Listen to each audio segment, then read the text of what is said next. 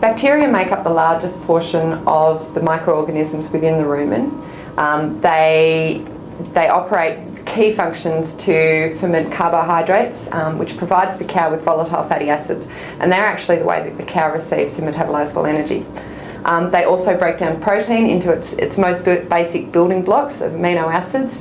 They reshuffle these, use them for their own growth and reproduction, and then the bugs themselves are actually washed through the rumen and provide the cow with what we call microbial protein, which is the, the protein that the cow itself can use.